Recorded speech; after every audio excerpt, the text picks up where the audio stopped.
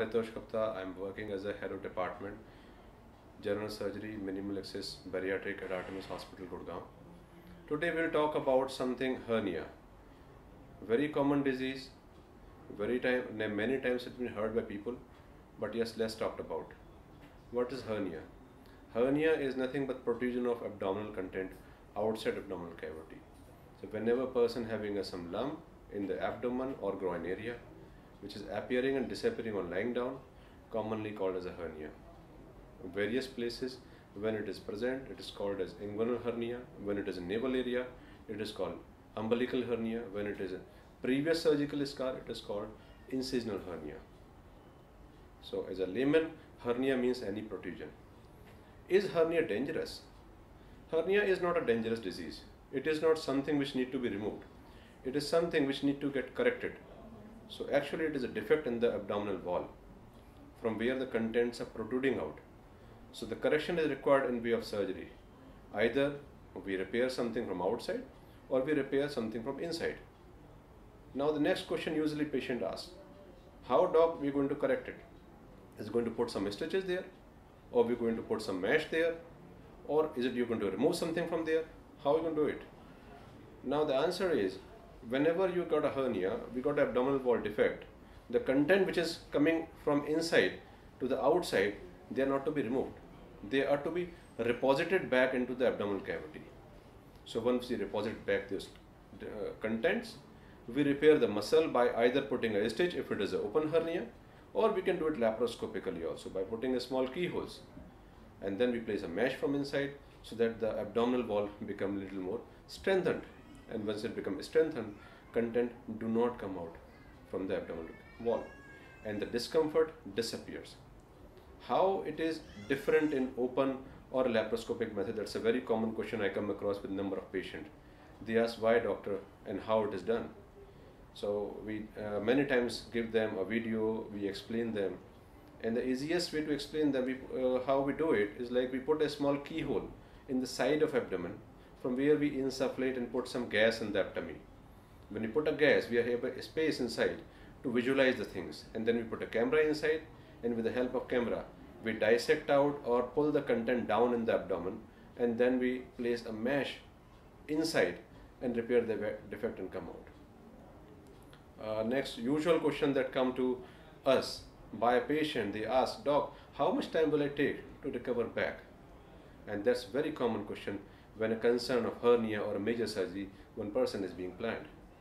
So if we really talk about open surgery, which has been done years back together, maybe about 18 years back, it was something that we defined patient telling, okay, you go take rest after the surgery, do not strain, do not pull weights, uh, mainly you have not been having active life, and after maybe one and a half, two months, we tell you, okay, you can start working. With the laparoscopic method, this is the latest technique which is going to help you to recover very quickly. There are two simple reasons. One that we're going to put very small incisions. That is why patient is absolutely painless next day morning. So the recovery in terms of pain is very quick. So they have less pain, they are active next day morning. Second thing, once we're going to place a mesh inside, it's going to take more care regarding the defect. Suppose I'm going to put a stitch, you need to get the strength of the tissue, which takes time. If I put a mesh, it is something is already it's, it's a created net inside so which is already strengthening the abdominal wall. If I put a mesh the recovery is quicker than while we are putting a repair stitches. Because now we are putting some prosthetic or some artificial material to keep your muscle more strengthened. And it is a research work. Since 1991 they have been doing it and they found out mesh is the best alternative other than having stitches that muscle area because the strength which you get with the mesh is better than stitches. That's how we are always recommending a laparoscopic surgery is now a latest and a better way of treating any kind of hernia in the human being.